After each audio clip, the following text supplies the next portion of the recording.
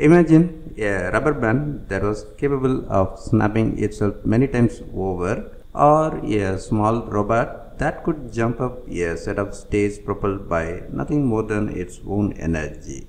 Researchers at the University of Massachusetts Amherst have discovered how to make materials that snap and reset themselves, only relying upon energy flow from their environment. The discovery may prove useful for various industries that want to source movement sustainably, from toys to robotics, and is expected to further inform our understanding of how the natural world fuels some types of movement. The researchers uncovered the physics during a mundane experiment that involved watching a gel strip dry.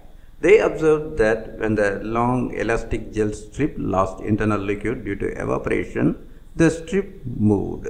Most movements were slow, but every so often they sped up. These faster movements were snap instabilities that continued to occur as the liquid evaporated further.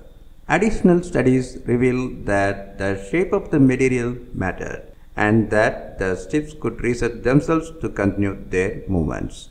Many plants and animals, especially small ones, use special parts that act like springs and latches to help them move really fast, much faster than animals with muscles alone. Plants like the Venus flytraps are good examples of this kind of movement as are grasshoppers and trapjaw ants in the animal world.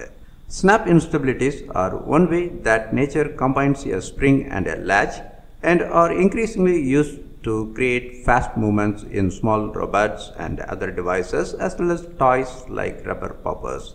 However, most of these snapping devices need a motor or a human hand to keep moving.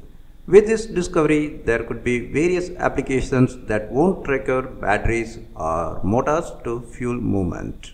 After learning the essential physics from the drying strips, the team experimented with different shapes to find the ones most likely to react in expected ways, and that would move repeatedly without any motors or hands resetting them. The team even showed that the reshaped strips could do work, such as climb a set of stairs on their own. The researchers say that these lessons demonstrate how materials can generate powerful movement by harnessing interactions with their environment, such as through evaporation, and they are important for designing new robots, especially at small sizes where it is difficult to have motors, batteries, or other energy sources.